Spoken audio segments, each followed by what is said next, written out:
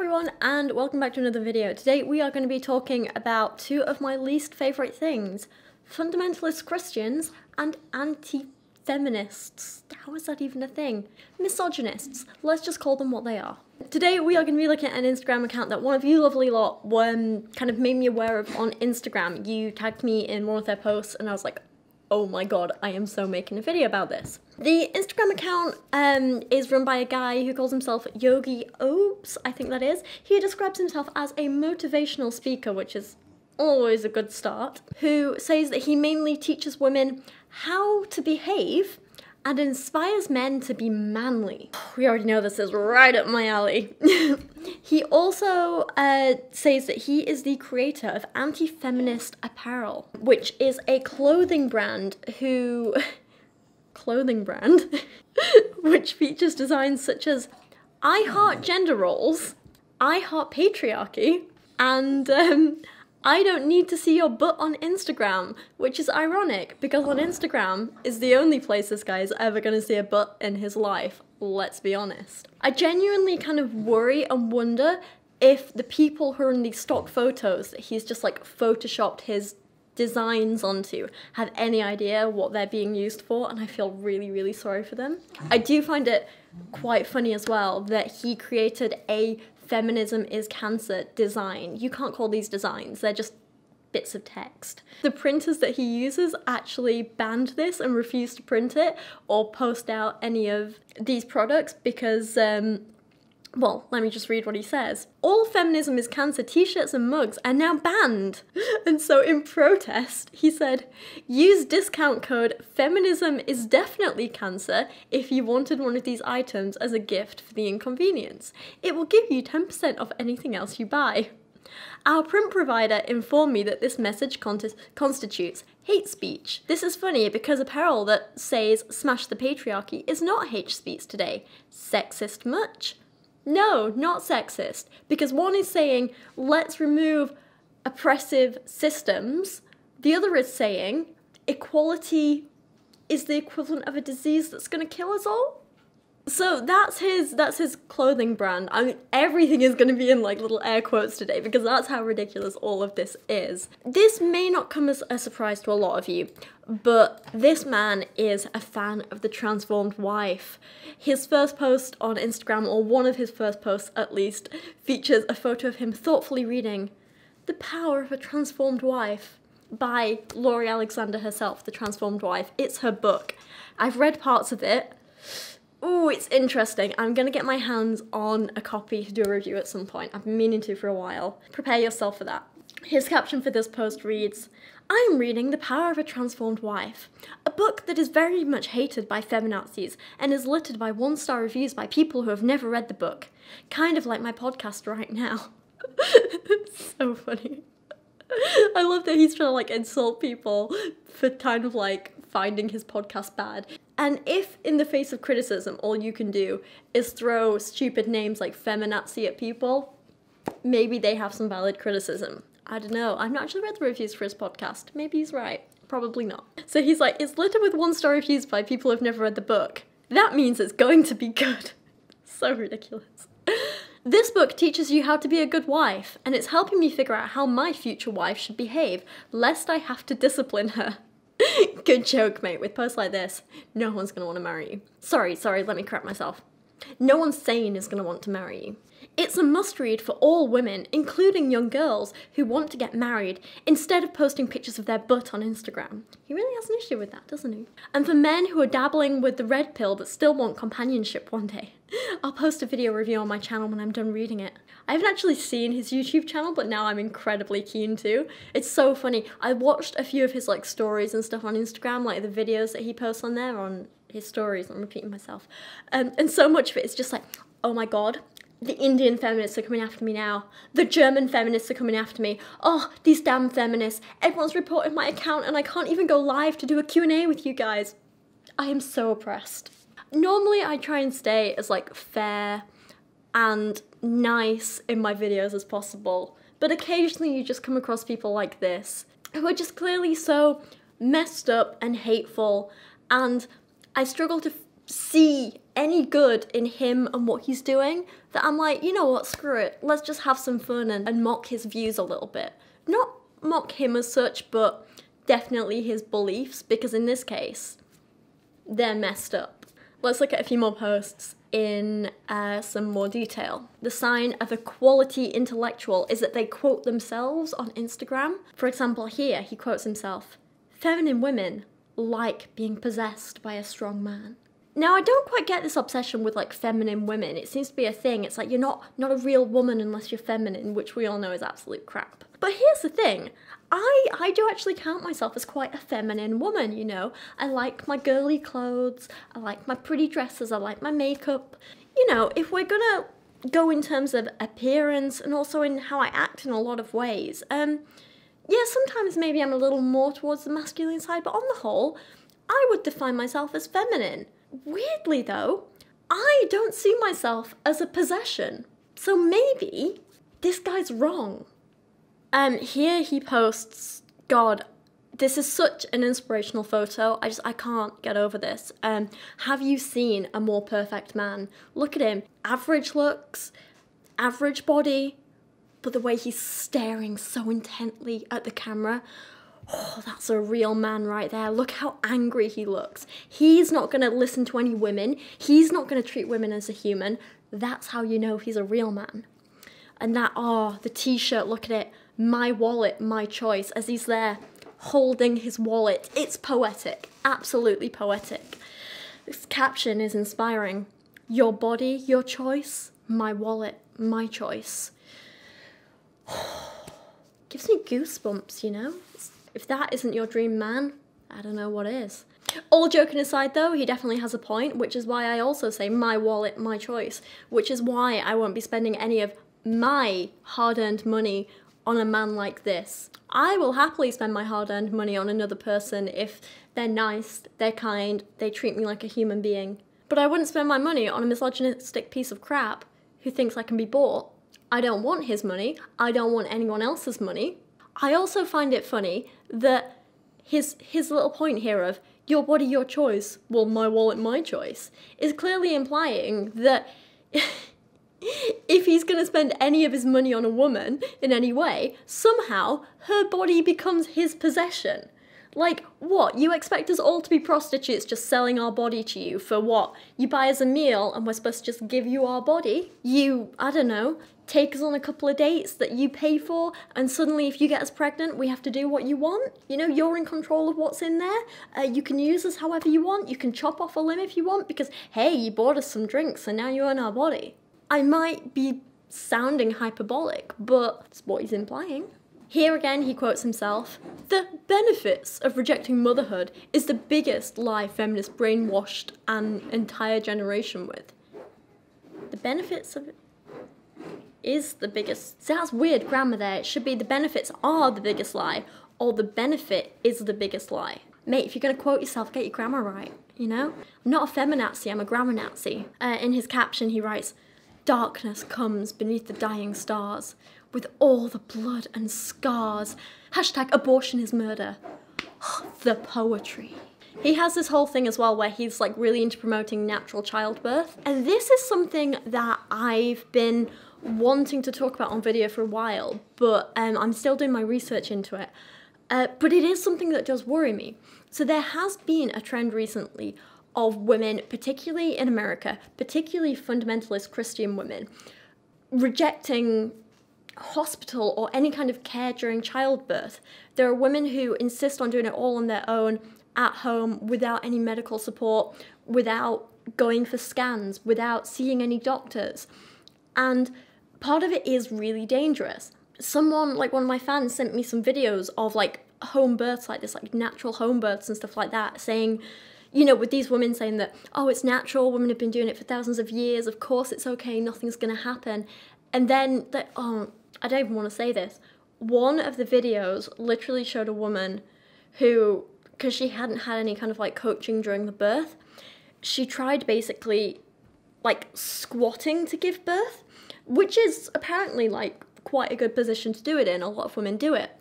But because she hadn't like had any coaching for the birth and she had no one there to support her or anything, oh god, the video was horrific. She was too high when she squat, and the baby essentially fell. Don't look that video up. So the point is, that's just one of the bad things that can happen. There's a hell of a lot, and if there's complications and there aren't medical professionals there to help, mother and baby can be in danger. I understand what he's saying that childbirth can be expensive, especially in America. I do think that's a huge issue. I do think that needs to change. But the solution isn't natural childbirth like he says. He says natural childbirth is how we humans gave birth since our genesis, and it isn't done by laying on your back in a hospital bed. Stop believing the lies, and then you will find real empowerment in being yourself. By no means am I an authority on childbirth, but the information is out there, and we will return to this discussion soon. And then, in the most ridiculous statement, he says, Oh, and also maybe think about why the fertility rate is so low here, but it is four times higher in Africa. Maybe we don't have it all figured out in our ivory towers. The fertility rate is so high there because they don't have easy access to contraception or abortion. They have to have kids. That's the issue. We choose not to. This definitely comes from the position of someone who clearly has never had to even think about giving birth himself and never will have to think about that. If you knew what it was like to have a womb and a vagina and something growing inside you, he might reconsider this position. I don't know, maybe not. Um, I don't even want kids, and I still think, you know, worst case scenario, and I did find myself pregnant, but didn't realize it until, you know, months in where the baby was already developed to a point where I wouldn't feel comfortable having an abortion. Um, if I did find myself in that worst case scenario at any point, I know probably not going to happen, but still, and I did have to go through with the pregnancy, I can't imagine wanting to put myself in danger. It just doesn't make sense in my head. Again, quoting himself, beauty fades, soul doesn't. Which, I'll be honest, is something I can actually get behind, you know? I mean, maybe not the soul thing, but personality, you know? I do think your character and who you are is far more important than how you look on the outside. He is right, beauty fades. The problem is with people like this, he's ugly on the inside, and that's never going to get better unless he makes an effort. Here we know he is a quality content creator because he's quoting the transformed wife about how children are not a burden, women. This is what culture wants you to believe. I've actually spoken about, I think, this exact thing in a video before from her original blog post. I'm just. He says, they're only a burden if you're irresponsible or trying to emulate men. Or you just don't want children. That's not trying to emulate men. Also, what does he think of men who don't want kids?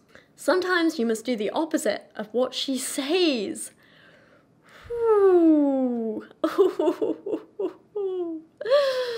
um, little improvement there. Always you must do the opposite of what this guy says. The only safe sex is sex within marriage. A pastor at church today said this, and I couldn't agree more. There is no escaping the consequence of sex outside marriage. Really? Because I've done it and I don't have any negative consequences from it. I'm not pregnant. I don't have any STDs. I'm not emotionally damaged by it. Seems I escaped the consequences. Pretty sure millions of other people have too. He says you could use protection and be on the pill, but then you put your mood, brain chemistry, hormones, and even future relationship and your future kid's health at risk by being on the pill. We've been over this before. The pill isn't the only form of contraception. There are other things out there. Also saying you put your future kid's health at risk. That's not an issue for some people because people like me don't want kids. And the chances of like infertility and stuff like that from using contraception or at least from using most kinds of contraception, are so tiny and small. With something like condoms, it has no impact on whether you can have kids in the future or not at all. So it's just fear mongering. You put your heart. Oh god, this is so funny. Sorry, the, the wording of this is hilarious. You put your heart health at risk from repeated breakups after you've created intimate bonds only to break them because your relationship wasn't built on the rock that is God. Heart health. Also, who says you have repeated breakups? I know plenty of people who had sex outside marriage and have still only had one partner. Uh, your brain changes and you can no longer pair bond like, oh my god, pair bonding. When are people going to realize this is a myth? People aren't born with a limited amount of love to give. That's not how it works. If that's how it worked, then, you know, you could say, oh, don't have more than X amount of children because you won't be able to love the later ones. Oh, if you have too many children now, you won't be able to love them in the future. It's not how it works. No one ever says that. And it's exactly the same with partners. You have more options but aren't as satisfied as the virgin who saved sex until marriage. Again, assuming everyone wants the same thing, assuming satisfied means the same thing to everyone. It's so ridiculous. Uh, you're becoming more and more numb and fail to connect with a worthy man's soul. Your brain has been permanently rewired. Again, that bit's crap. you think you can replace men with vibrators? You're a lonely cat woman. okay, I will never be a lonely cat woman. Dog woman, maybe, but you're never lonely with a dog.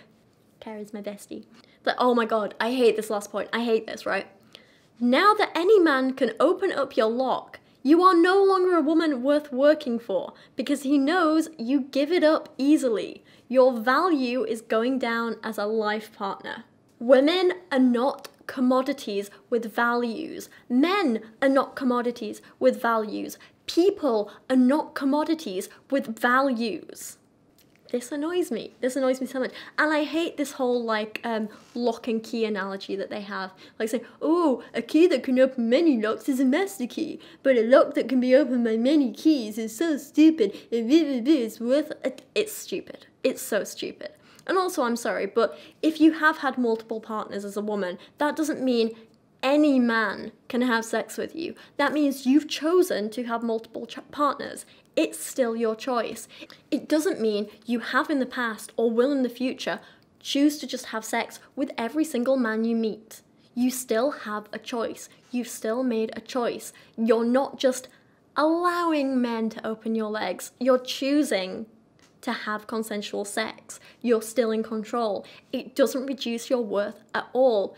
Whether you've had sex with someone before or not doesn't give them any right to have sex with you again. It's still something you need to agree on together and be okay with together and consent to together and essentially work for together just because you've had sex with person A in the past, that doesn't mean person B has a right to come along and say, well, you had sex with him, so you're going to have sex with me now. That's not how it works. In no way does you choosing to be with one person allow other people to value you any more or less. That's not how the world works. Or at least that's not how the world should work, and that's not how decent people view each other. And if you are the kind of man who thinks, oh, this woman is worth less because she chose to have consensual sex with this person, if that's how you view women and if that's how you see the world, that says a hell of a lot more about you and your flaws and your insecurities than it does about the woman you're talking about. He says, Every man must build a fence around his woman so that she cannot escape. If she tries, she promptly learns the repercussions. But most importantly of all, she should never want to leave. Don't forget, men, women are your possessions. Lock them up, kidnap them, make sure they can never leave, punish them if they try to be independent, free thinking humans. Women don't have brains. If this is what you want, just buy a sex doll. Seriously. Behave, women. Behave. It's your job.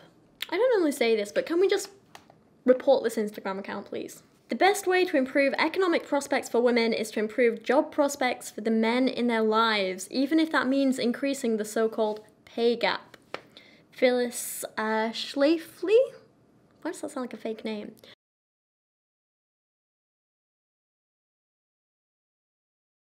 I find it so funny that the man who was complaining earlier, saying, my wallet, my choice, is now saying, oh, women, if you want money, you need to find a man and marry him so he has money. And we're going to give those men more money so that you have more money. Um, but you can only have that money if you marry him and are his possession. It's ridiculous. Just think about all the unemployed single mums and single career women out there right now unable to work. If they were married, they'd at least have some social support being on your own as a woman is not your nature. Pretty sure it's mine. As a single career woman out there right now, I think you'll find I'm still doing damn well for myself. I'm still working hard. I'm still loving my life and enjoying it. And I don't need a man to support me. And I'm not gonna end up in some crappy relationship that I don't want just because I'm scared of being alone or I'm scared I'm not gonna have as much money. They're not good reasons to be with a man. And I won't do it. I am more than capable of being on my own and supporting myself, and I'm not going to give that up for anyone. Here he ends up quoting the Bible with, Do not spend your strength on women, your vigour on those who ruin kings. and then and then he starts talking about clubs, right? So bad music made by tattooed devil worshippers, overweight women plastered with toxic makeup products, revealing outfits, and of course, alcohol. it's a world of sin. Continuing on this train of thought, this verse makes clear why women need men more than men need women. and why it's natural for women to crave the attention of busy, hard-working men. Oh, of a busy, hard-working man, and why men who are too available are a huge turn-off. How these behaviors are simply coded in our genes is beyond me. Oh my god. He did, this is written by the kind of man who's like, yeah, I'm uh, I'm single because I choose to be because uh, all these women clearly want me and I'm just uh, try not to show them I'm interested, you know. I'm just I'm gonna let them come to me. I'm gonna let them beg for me. And the truth is, no one wants him, and that's why he's single. And then he looks at someone like me who like chooses to be, and he's like, "It's because men don't want you. It's because you're too easy. That's what it is." And I'm like, "Well, I've had people ask me out, and I just want to be on my own for a while." And he's like, "No, no, you want men. You need men. You crave men. You're you're actually really unhappy without a man." I'm like, "I'm, I'm not unhappy." No, you're really unhappy without a man. It just it says. Sorry, I'm getting carried away now. I'm literally quoting emails that I've got from men who've watched my videos being like, oh, I feel so sorry for you. You must be so unhappy. Just because I've said, yeah, no, I'm pretty happy. It just, it says so much more about their insecurity than it's ever to say about me and women like me. Oh, and here we go. here we go. This is so funny because this just kind of proves my point, right? I am an angry male, and I love that about myself. Anyone who doesn't like male anger can burn in hell. Oh, mate, I'd rather burn in hell than go anywhere near you. Feminine women attract strong masculine men. Feminists attract weak feminine men. I'll be honest, if this guy is the epitome of a strong masculine man like he thinks he is, I'll take a weak feminine man any day. And just like the whole thing, he, he goes on all these like anti-feminist rants. He doesn't call us feminists either, he calls us feminazis. And I don't think he understands that men can and should be feminist. I don't think he understands that feminism, but well, actually, no. I think he's one of these people who does understand that feminism is ultimately about equality. Feminism isn't about women saying women are better. It's not about female superiority. Not at least proper good feminism shouldn't be. Feminism is about equality for all. We're talking men, women, non-binary, everyone. Equality for everyone. This guy sees that and hates it because he feels threatened by it.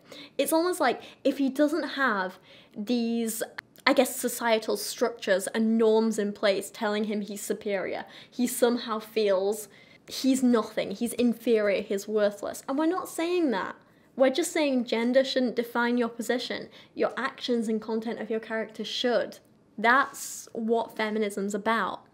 And he's saying, oh no, but because I was born with a penis, that means I'm like meant to be in charge and stuff, yeah?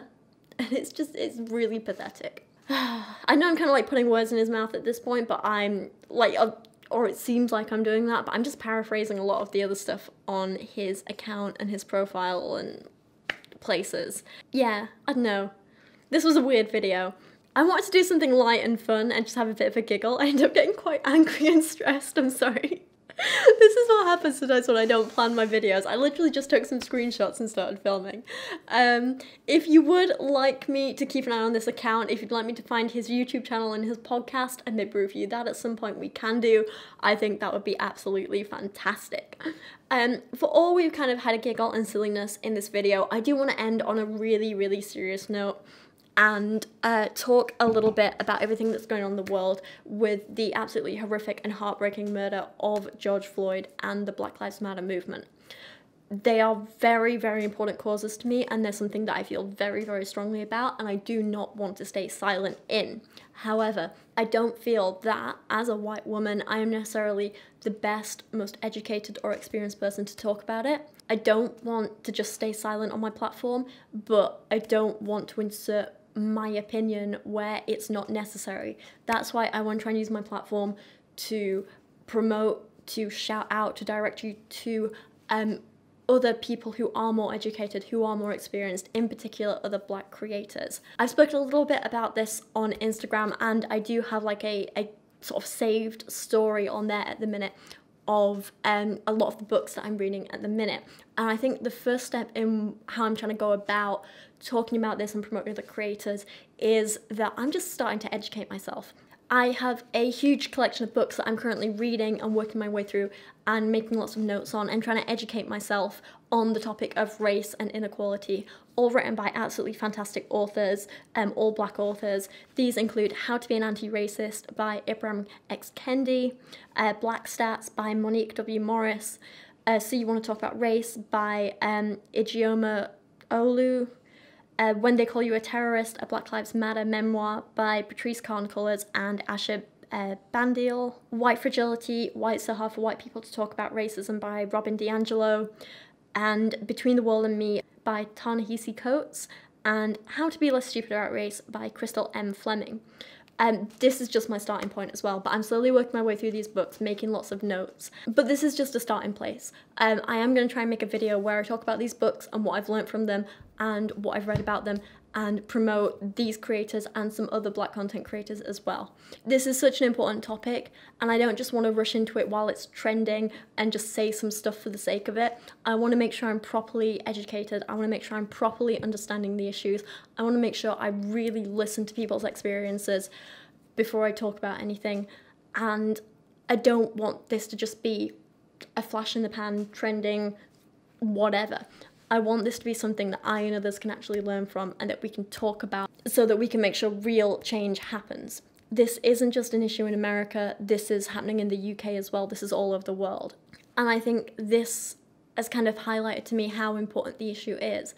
It's always kind of like been there in the back of my mind. I've always been slightly aware of it. You know, you, you hear things and you hear people talking um, about like racism and inequality and all this stuff. And for someone like me who's never personally dealt with it, you know, it can be easy to say, oh, well, you know, I'm not racist, so I'm doing enough.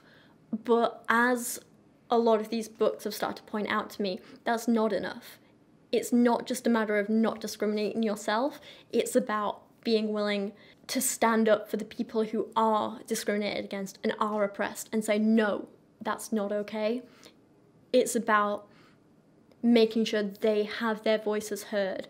And as a white woman with a large platform, I don't want to just shout over them and say, well, here's what I've learned, this is what I think.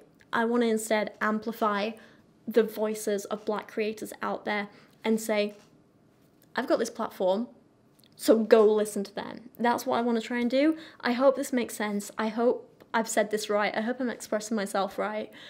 Yeah, I hope that's okay. But anyway, sorry, I know this was a weird little rant to pop on the end, but I felt it was important, and I don't want you guys to think I'm just staying silent because I don't care or because, I don't know, I don't feel like it's important. I'm just trying to make sure I educate myself, I speak up in the right way, I direct people's attention to the right places and I want to make sure this is an ongoing effort and not just a quick little trending, oh look, I'm doing my part. I, I don't want to be that person. Does that make sense?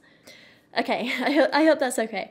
Um, I'm going to end this here. Thank you for watching today. Appreciate you guys so much. Uh, please let me know your thoughts on absolutely everything down in the comments below and I'll see you guys again very, very soon.